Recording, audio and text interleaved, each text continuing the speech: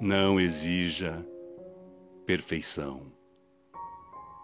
Reflita sempre antes de agir, a fim de que seus atos sejam conscientizados.